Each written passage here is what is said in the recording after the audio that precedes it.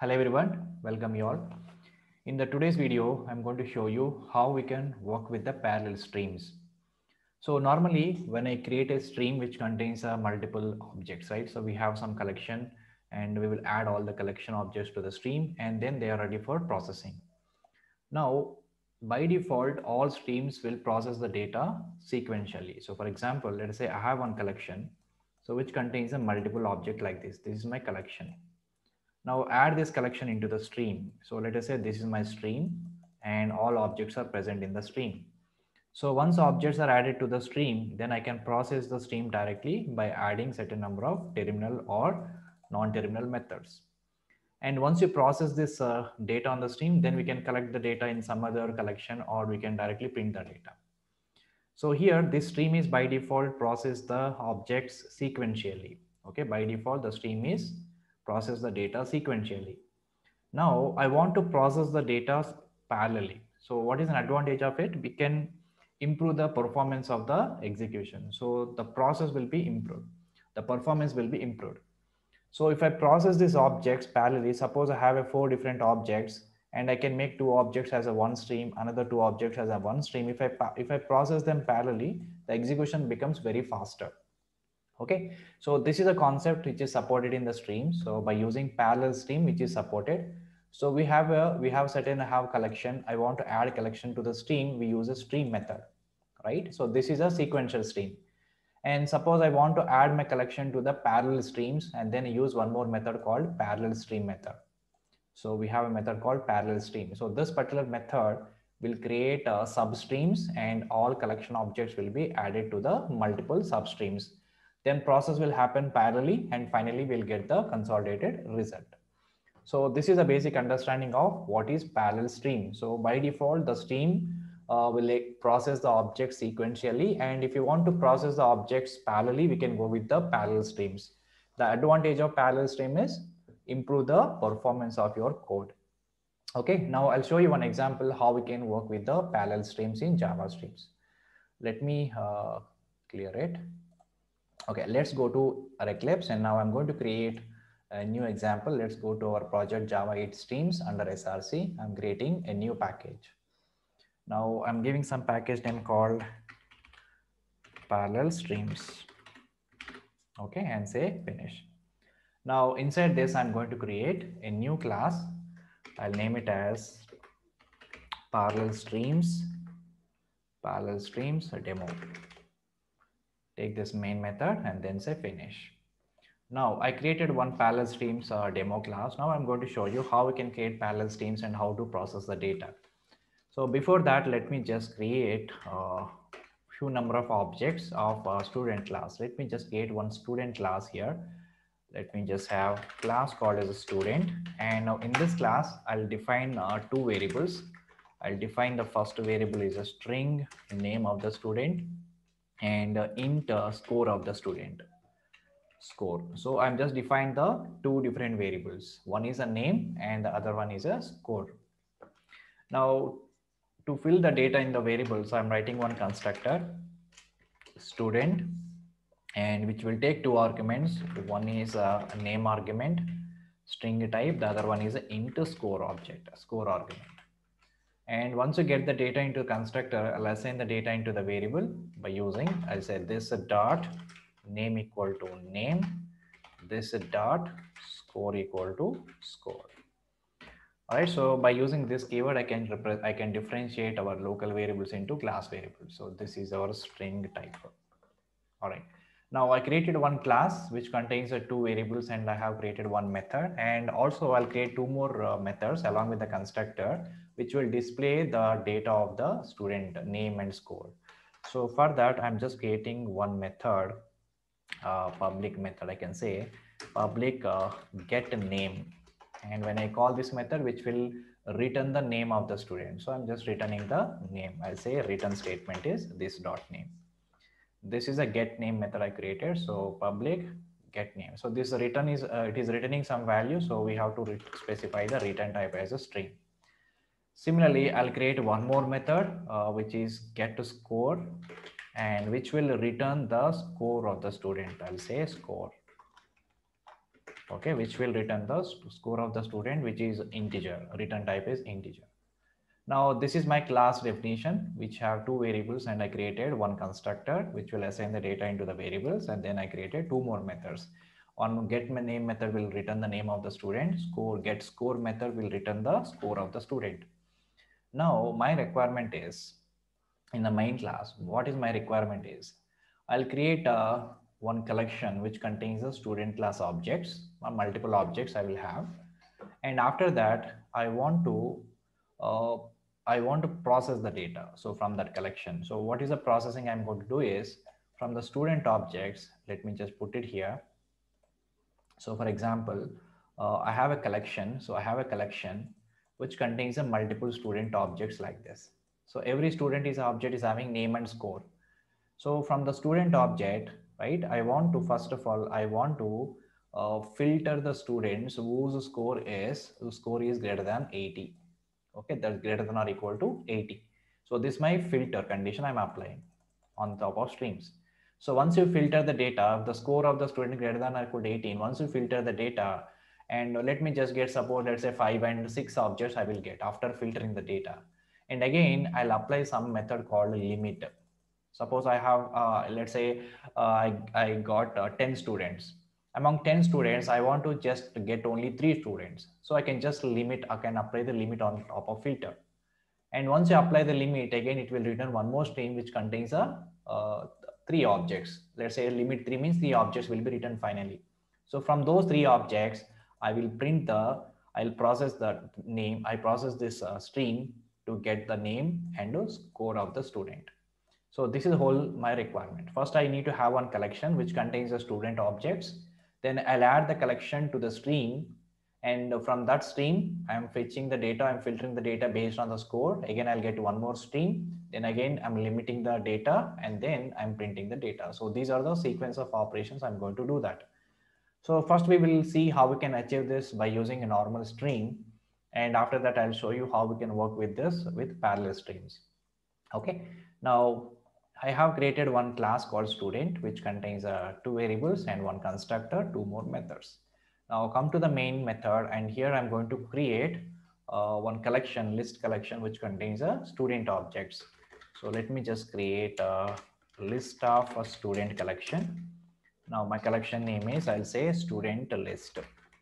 Okay. And say new, or I'm just saying array list so you can directly uh, do like this. So you can add multiple objects to the student or else you can use arrays concept arrays dot uh, as a list. You can use arrays dot uh, as list. First of all, import the list from java.util. So arrays dot as a list method you can use. Okay, so as a list. Now import these arrays right? So now in this uh, collection, I'm just going to add a few number of elements, few number of objects. Okay, so arrays dot as a list, I think, yeah. Let me check this method, arrays dot.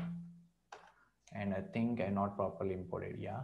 Arrays is imported. So when I say new, uh, I should not use a new keyword bias because arrays is a a class arrays dot as a list method I have to use. So this is the way we can add uh, directly data into the collection. So by using arrays dot as list, or else you can just create an object of student uh, list, and uh, then you can use add method to add all the objects to this collection. And if you want to add all objects to the collection directly uh, without using add method, you can use like like this arrays dot as list, and here I'm going to add uh, student objects directly. I'm going to add so let me put this. So inside this, I'm just adding uh, multiple objects of the students. So let me just have uh, one student. Uh, can just say this is one student I have. So directly I'm creating the object without using reference variable. And similarly, this is one student and then I'll create one more student object. Let's say Bob and uh, I'll say score is 90 and here we have to use comma right because with these are multiple objects i'm going to add to the collection now similarly let me add a few objects like this and later i'll change it comma and now this is bob 90 and then i'll say john uh, give some data, let's say 65. And uh, then I'll say Kennedy. I'm just adding some data. I'll say 55. And after that, I can say Eric.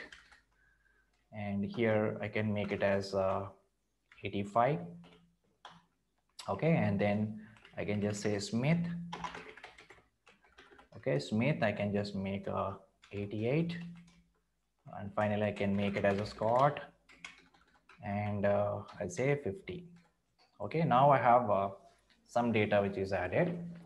Now this is a collection which contains a student's objects, which is a collection which contains a student's object. Now my requirement is from these objects, I want to filter uh, the student's grade is greater than 80. So how many students we have? Their grade is greater than 80. So this is one, two, three, and four. There are four objects we have, and their grade, uh, their uh, grade uh, score is greater than 80. All right. So to process this data by using filter, we need to add them into the stream. So now I'm just going to show you a sequential stream. That is a normal stream. So let me just take the collection and how to add this to the stream. So just we need to use stream method. Now we have added that object to the stream. So once we add it to the stream, then I'm applying the filter and filter is always take the predicate. So predicate means it take the argument and internally which will verify some condition and returns either true or false. Now in the filter, I'm passing the student object as in lambda expression then it will get the score of the student and it will verify whether it's equal to greater than 80 or not. If greater than 80, then it will filter that particular object. And on top of this, I'm also going to uh, apply one more method to process it called limit. And uh, so with this condition, basically it will return four objects because there are four objects uh, whose score is greater than 80. Let's say here it is 82 and here it is 90, 85, 88. So totally four objects I have but I want to get only three objects. I can just say limit of three. And after that, I want to print that uh, data from those objects, from those three objects. So then I can use one method called for each process, right? So this will take consumer as a, uh, as a parameter means we need to pass one argument or parameter to the lambda expression and internally it will perform some action, but it doesn't return anything for us. So I'm just passing the object into this, some parameter and lambda expression. And I say sys out here from this object, I just want to call these two methods. Okay, now if I just look at to the class, there are two additional methods I created, get name and get score. So I'm just call these methods which will return name and the score. So in the println, I'll say stu dot get name and also uh, followed by give some space and concatenation and stu dot get score. I'm calling two methods. That's all. Okay, so now we have done with this and then semicolon. So this is how we need to write the statement. Let me just put in the multiple lines so that we can understand the what are the sequential operations we have done. So this is a for he. So this is a whole uh, stream expression I have written using lambda expression. So I have added this collection to the stream. Uh, this is normal stream, uh, sequential stream, and then I apply the filter on the stream. And this particular filter uh, filter the data objects in from the collection and then from the stream, and then return the multiple objects whose score is greater than or equal to 80.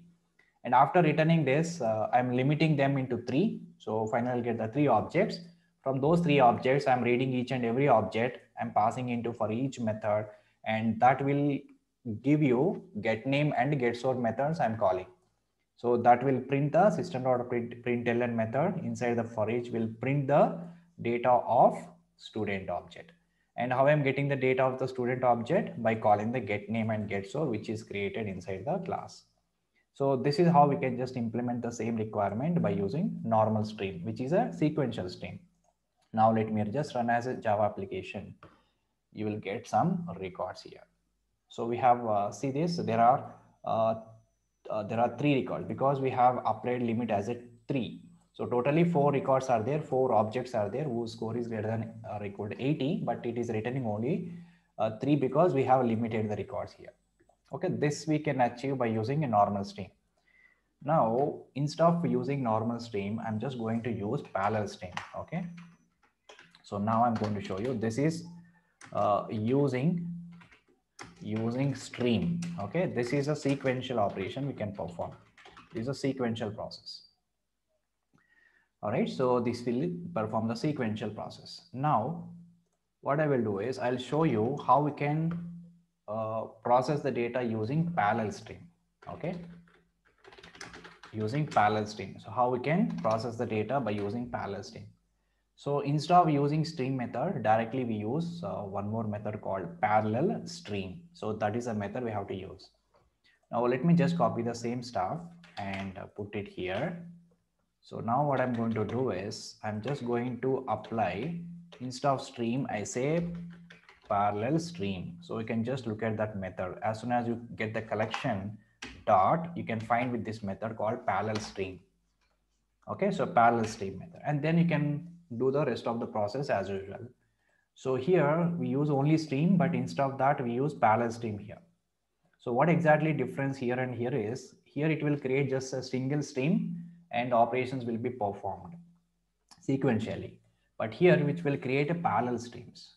So if I just look at in this particular process, the collection will be added to the single stream.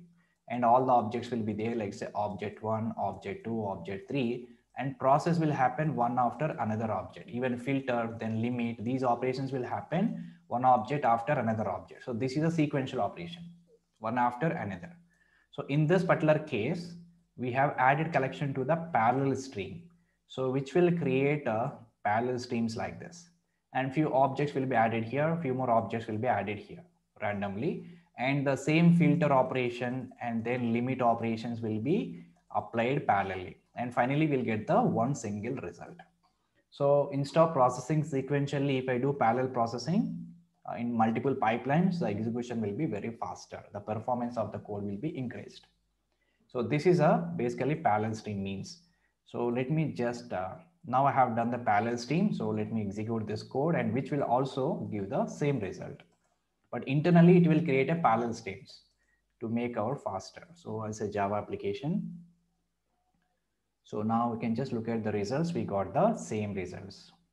All three records we got. All uh, student scores are greater than or equal to 80 and limited with the three and I got the data.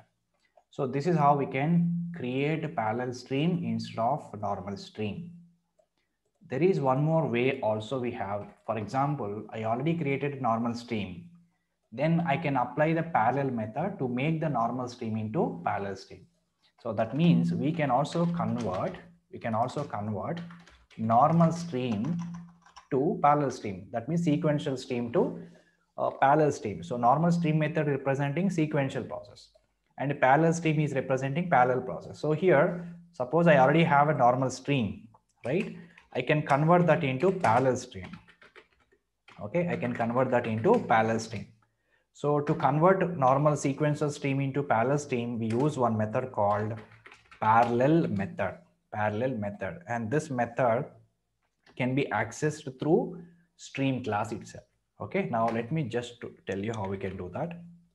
Now I'm copying the first code because here we just use normal stream, sequential stream, right? Now here, if I just look at this, so I have added the collection to my stream now it is a sequential stream. Now I want to convert this stream into parallel stream. Okay, sequential stream into a parallel stream. So immediately you can write one method called parallel like this and then followed by the rest of the operations. So here this particular statement, first the collection will be added to the stream and that stream is again converted into parallel streams by calling parallel method from the stream class. So then the filter operation and limit operations as usual, rest of the operations will be processed as usual. So this is another way. So the first way is we just added the collection to the stream. This is a sequential stream and then process is started. And the second example here, directly I created the parallel streams and collection objects will be added to the parallel streams and process will be done.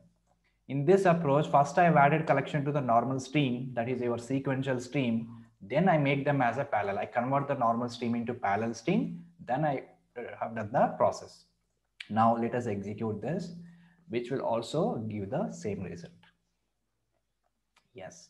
So this is a result which is given by the first stream second stream, and third stream. Okay, so this is how we can work with the parallel streams. So this is a, one of the important concept which we have in the streams. So we can process the uh, collection data uh, in parallel streams. So there are two approaches we have. We can directly apply parallel stream on the collection or we can add the collection into the uh, sequential stream. Then I can convert into parallel stream. Okay, so that's all for this video guys. Uh, thanks for watching.